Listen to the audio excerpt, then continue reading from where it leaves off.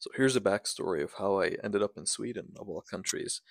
I finished my medical education about six, seven years ago. Um, I did it in Lithuania. Um, why Lithuania? Well, at that time it seemed to be a feasible idea and a good idea at that. Had some of the best years of my life.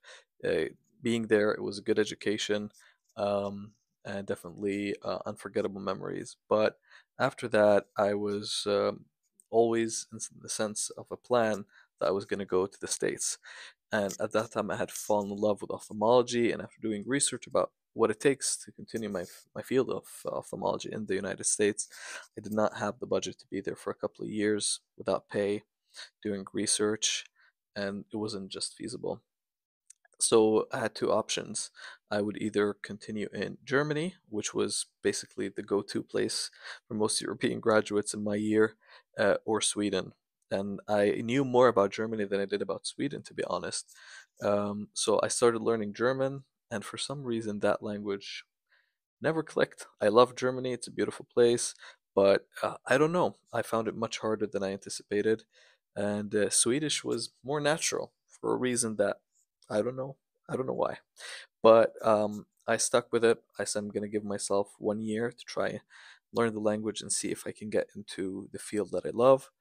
Uh, that first year was very expensive, a lot of uh, social, uh, psychological, and uh, physical challenges of the weather, uh, long distance, um, missing family and friends. But move past that year, um, I'm blessed and grateful that I made this choice.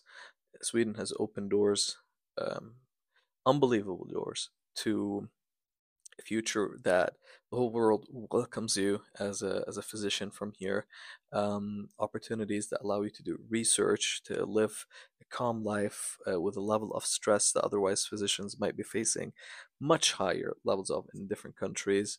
Um, a good uh, workplace, people that listen, uh, you don't really get a sense of hierarchy in the workplace. Your voice really matters, and everyone's voice, from a doctor uh, to anyone working in the healthcare sector, they all have a role to play. And um, yeah, you actually do enjoy being at work. There are tough days, there are downtimes, but if you made the plan to come here and live here, push past everything, the days are going to be hard, but in the end, your family and your future self will thank you. Share with me your story.